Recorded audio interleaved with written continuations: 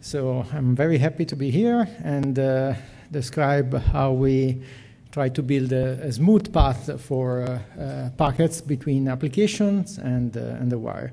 This work supported by the European Commission through a project called Change. And uh, so, given that we have a short time, I will not enter into many details on uh, why we need to do packet I.O., but let's focus on the mechanisms that we have for, for that. Uh, one option is to use the sockets that uh, BPF, raw sockets, whatever. They are flexible, they are portable, they are available on many operating systems, but they are slow, and the reasons uh, why they are slow, we will see them uh, in, in, a few slides.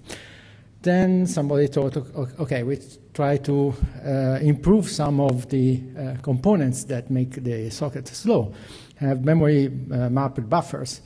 And uh, yeah, this solves a part of the problem, but uh, quite often these uh, memory map buffer solutions are based on the internal representation of packets, uh, packets which, which uses mbuf, skbuf.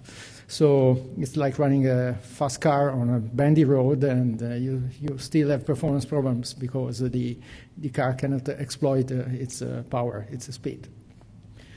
So another option is to run within the kernel, uh, netfilter, pfil, click, uh, netgraph, whatever.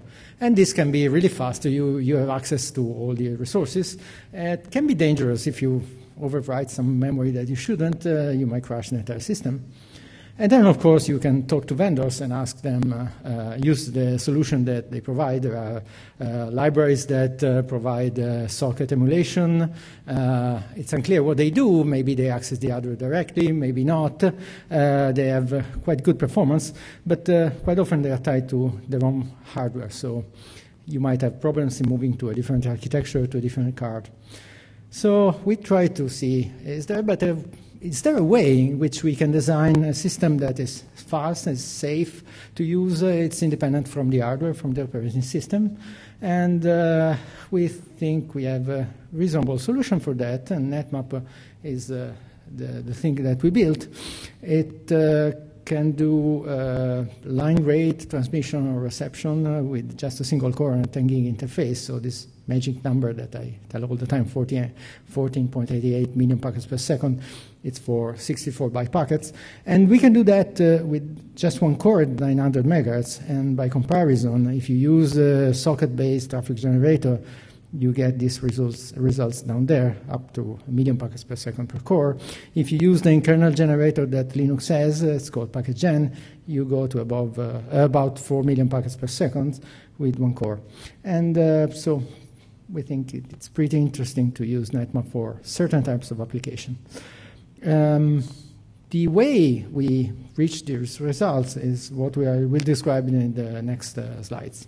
So we try to measure the network stack, uh, find out where the bottlenecks are, uh, extract from that uh, some design ideas, and uh, then show how we implemented that.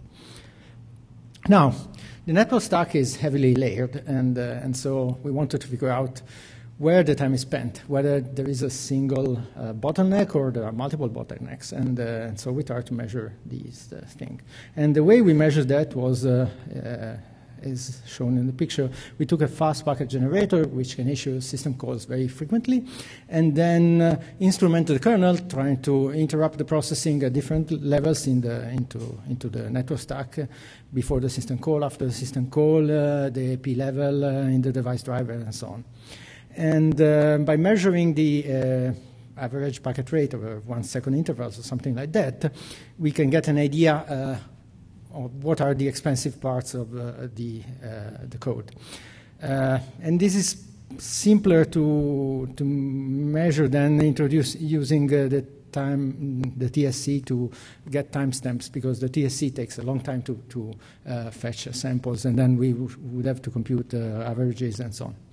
Uh, these experiments that I will report next, uh, also the final results, are on about 3 gigahertz uh, Intel 4-core CPU and 10 gig in Intel interface card. And the operating system is a 64-bit version of FreeBSD. Linux, the Linux version of NetMap has a similar performance. Um, so these this list is the number of functions that are invoked from send to to the packet that goes out on the wire. So it's very similar to the picture that I showed before. And, uh, and so we see that, for instance, uh, we can issue a system call every 8 nanoseconds uh, if we break right before the system call. Then if we enter the kernel and stop there, it takes 100 nanoseconds for the path. And then uh, more and more as, uh, uh, as we move down the, the protocol stack. And uh, one thing we see from this column delta um, shows how much time is spent in, in each uh, of the big blocks that are on the path from the system call to the wire. We see that there are several points where we spend a lot of time. So 100 nanoseconds in a system call, uh, 130 doing the mbuf allocation, the copy in, another 200 in IP output. Uh, there is an expensive route lookup here, and uh, setting up the IP header is also time consuming. Ether output uh, on FreeBSD is particularly expensive, maybe on Linux is better. Device programming is also quite expensive, uh, 220 nanoseconds, just to take a, a packet from the MBUF and recreate, construct the, the scriptor in the, in, the, in the NIC is way too much, in our opinion, my opinion. so, okay, so now we know uh, how things are in the, in the network stack. There are uh, significant chunks of time that are spent all uh, across the, the, the path. Uh, some things cannot be avoided. Uh, we surely need to do a system call if we want the system to be safe. Device programming, uh, as it is, is extremely expensive, and uh, my impression is that uh, is, uh, is because we have MBUFs, but MBUFs have a ton of options and uh, configurations. So parsing them and to produce some information that can be written into the NIC's register is very expensive. And why it's a bad idea, uh, I will show with this game. So which game of Tetris would you like to play? One where the blocks are all square or one where the blocks have uh, like MBUFs, uh, different shapes and orientation, etc. I think the answer is pretty clear. So we tried in NetMap, we tried to have very simple blocks uh, or packet descriptors, and those are very efficient to, to manipulate. Uh, there are other things that uh, cannot be simply uh, can uh, be uh, removed altogether. For instance, uh, we don't need to do data copies if we do memory mapping, for instance. We don't need to do memory allocation if we try to pre-allocate memory both inbound and outbound, and so on. So our strategy now was I, I, measured the send to system call, which uses many parts of the IP stack. Uh, I'm in, in, the next uh, uh, part of the presentation, I'm, I'm, addressing a simpler problem, so raw packet I.O. Uh, it's useful to determine what's the maximum performance we can get from the system, and it's also poorly performed by the, uh, poorly supported by the current APIs, so it has very high return, both for me in terms of presenting the result, and from the users, because there are people who really need to run uh, traffic generators or packet capture systems, etc. And the guidelines were, uh, we tried as much as possible to avoid uh, using special features of the hardware, because otherwise we would restrict uh, the applicability of our uh, solution. We try to amortize costs over large batches of packets if possible. This is the case for system calls, remove some unnecessary works, copies, um, alloc allocation, etc., and reduce the runtime decision with a, a single frame format. Uh, also, one thing that uh, I've been working on the network stack for more than 10 years. And I'm always been afraid of uh, modifying device drivers because there are so many of them. Now, I broke the rule here, and I, I, thought, okay, it's allowed to, I'm allowed to modify device drivers as long as the system can be maintained, meaning that uh, I want to uh, make small modifications and more or less mechanical modifications so they can be reproduced easily in, uh, in different uh, uh, drivers. the system, NetMap, is built around a shared memory region, this block here, which contains basically packet buffers, buffer descriptors, and all data structures that uh, uh, applications need to uh, transmit or receive data. And uh, in our system, buffers are pre-allocated uh, when uh, you open the device, and we'll see how, and they are numbered, and they are uh, fixed size enough to, to store a full packet, a full frame. Uh, so currently it's 2K, but it's programmable. We, we can have buffers that uh, accommodate uh, jumbo, jumbo packet, jumbo frames. The netmap ring here is basically a circular queue of buffers that we use for transmission and for reception Each slot in the ring has a small fixed uh, format which is independent of the hardware. It contains the index of the buffers, the, the length of the payload, and some flags. And also in the ring, we have uh, the usual stuff. Uh, we have a, an index of the current uh, transmit or receive uh, point and the number of buffers that are available for transmission or that uh, are, have been returned after reception. And the NetMap-IF is uh, basically a directory of all the rings that are uh, attached to a particular interface. So in the common case, all the interfaces, low performance interfaces, have only one transmit and one receive ring. Uh, the 10 gig interfaces tend to have multiple transmit and receive rings to, to share the load among uh, multiple CPUs. So the NetMap-IF uh, supports all these variations. Uh, for protection, we rely on the standard uh, operating system mechanism. So the NIC registers and data structure are not exposed to user space, and not in the shared memory region. The only thing that is shared is the are the buffers. Uh, the, uh, the task of the kernel is to validate the information that is in the net netmap ring and use it to program the uh, network interface. And so we have no chance to crash the kernel unless I, make a mistake in writing the code. But the user shouldn't have any chance to crash the kernel. In terms of ownership and uh, synchronization between the user and the kernel, since the memory is shared, uh, there are no races because the synchronization is implicit in the system calls. So the interesting part of the ring, basically the global fields, current, and and the uh, buffers that are uh, in use are always owned by the application that is running, except during the system call when the application uh, stopped and the kernel can manipulate those parts of the, the rings. And the, also, interrupt service routines never touch the, the shared memory region. The only thing that they, must, mm, they do is wake up an application that might be sleeping, waiting for uh, transmit buffer to be free or for uh, incoming packets. Uh, in order to access the uh, use netmap to transmit or receive packet, the first thing you do is uh, the equivalent of creating a socket. So you open a special device, uh, issue an IOCTL, and in the argument you put the name of the interface that you want to use in netmap mode. And then uh, on return, this uh, IOCTL will tell you success or failure, and also how big is the memory region and where is the offset where is the netmap IF uh, structure located. So you memory map the region and you're done, at least. You have access to the data structures. And to transmit packets, uh, now, in this data structure, the netmap ring tells you which one is the first uh, slot that you can use for transmission and how many slots you can use. So you start filling, you, the application, starts filling the the buffers uh, with the payload of the packets, uh, writes the length of the payload, increases the current uh, index, and so on.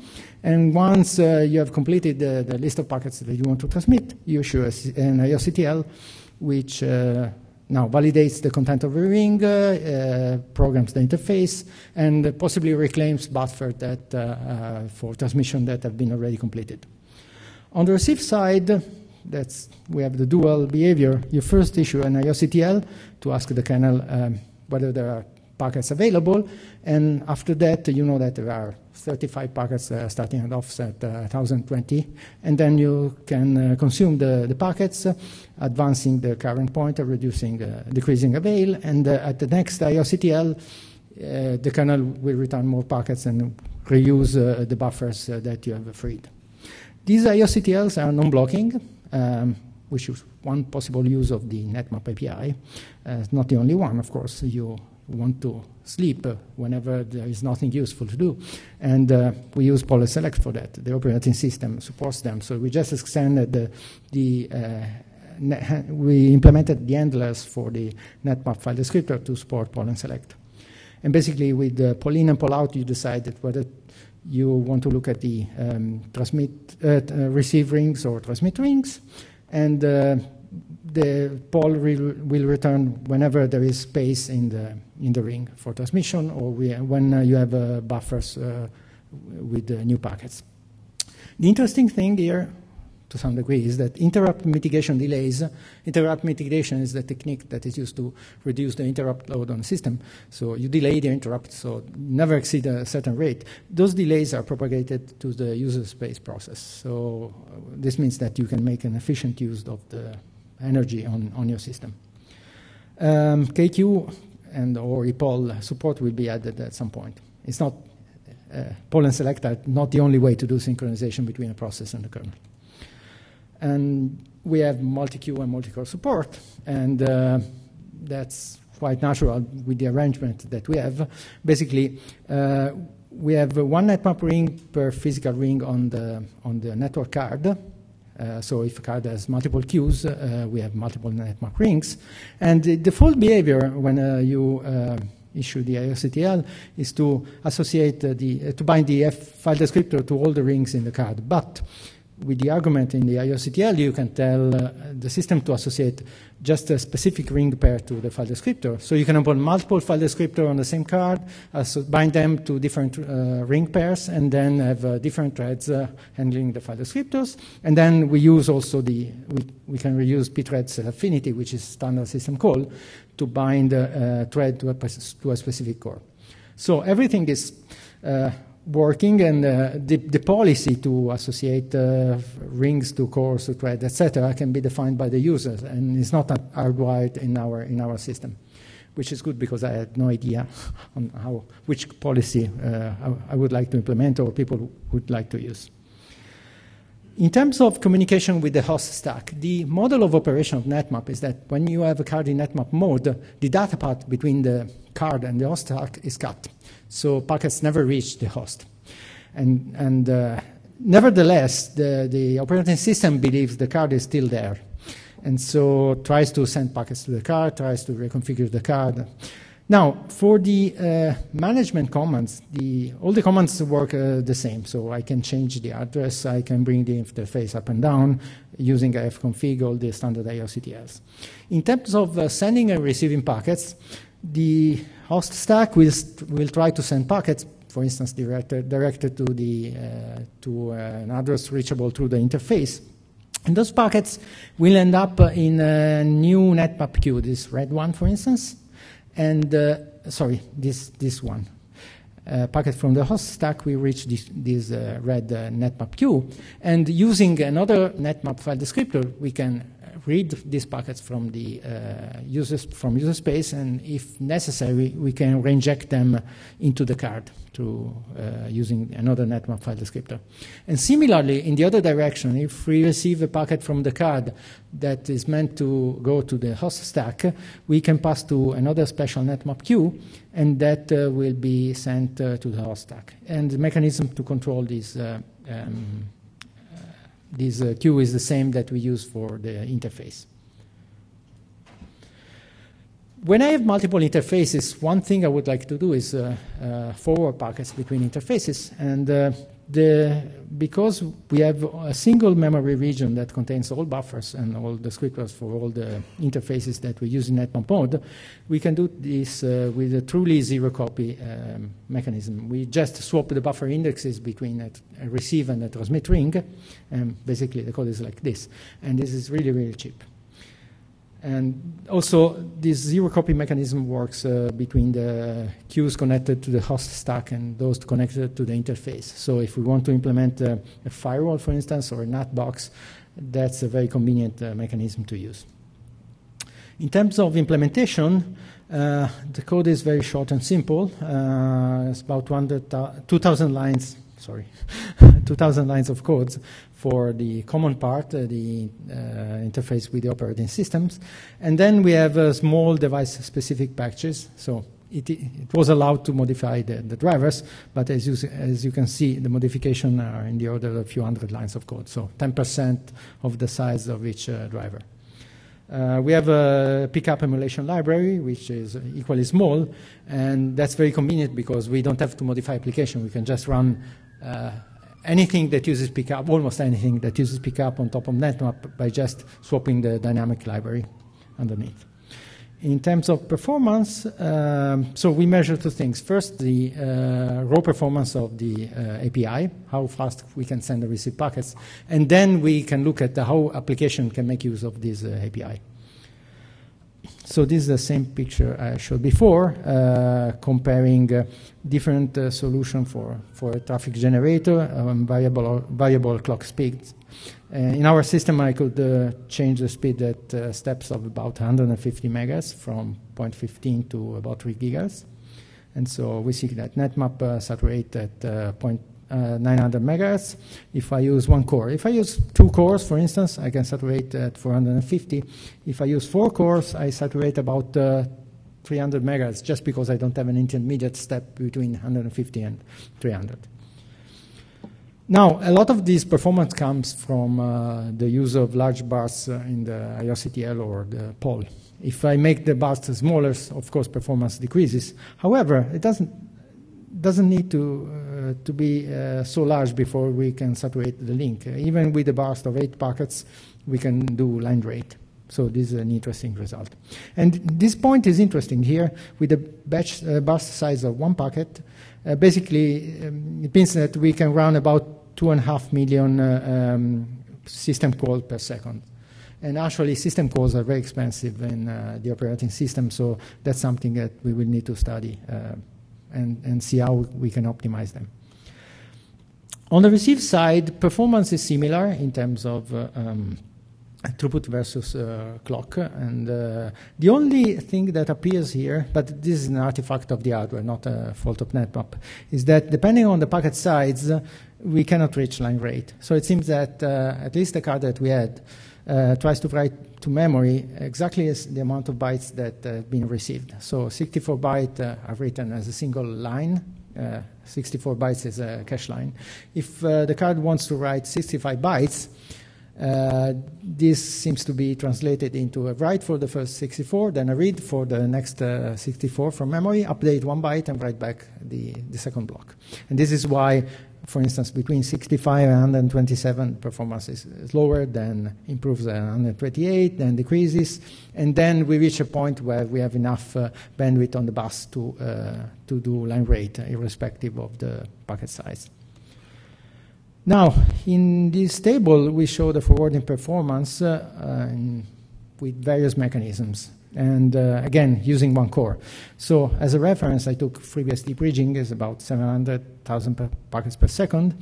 If I use uh, if I do forwarding between interfaces using the libpcap emulation that I mentioned, I do about 7.5 million packets per second, which is not bad. Uh, of course, if I use the native API, which doesn't uh, even touch memory or copy memory, uh, I do line rate at less than the full uh, clock speed. Uh, we try to modify a number of applications, including Open vSwitch and Click. Um, for Open vSwitch, uh, okay, the original code wasn't really fast, but uh, we, we modified it uh, uh, so that even the, the implementation user space using the standard libpcap could do about uh, 800,000 packets per second. And replacing, just replacing the pcap library with NetMap got another four times speed up. And uh, for click, uh, we got similar results. Uh, the, the previous ver version of Click user space was doing about 400,000 packets per second, replacing the libpcap got up uh, to 4 million packets per second. At the, we worked with that in uh, February to, to have a native uh, version of Click, but I haven't yet had the time to benchmark it. The availability, so it's a standard component in FreeBSD. Uh, on, the, on, the, NetMap page, you can find a code snapshot. I have also bootable images for uh, PicoBSD, for FreeBSD and Linux, uh, papers presentation. Uh, I have a Linux version, so if there are any Linux committers that want to import it, uh, I'm happy to help. Runs on several uh, hardware cards, and if you give me hardware and programming information, I'm happy to to try and write a modification for NetMap.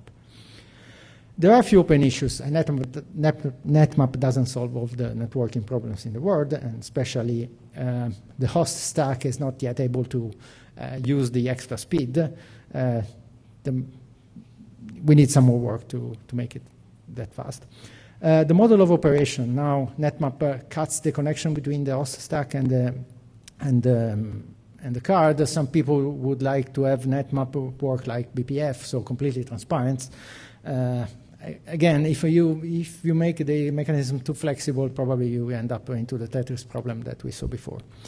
And the system call performance uh, is a bit critical. Uh, whenever you have a poll, whenever you uh, invoke something that uh, requires the, the scheduler to, uh, to, to, run, we notice that uh, we have latency in the order of one, two microseconds, three microseconds. That's a really long time, especially at very high packet rates. current and future work. So recently we have been doing very fast switch based on NetMap between virtual interfaces. Um, I can give you more details in the afternoon during the poster session. And uh, that's, that's been released yesterday, uh, no, sorry, last week. And uh, we are working on applying NetMap techniques to the network stack. And then I'm done. Question here or in the afternoon?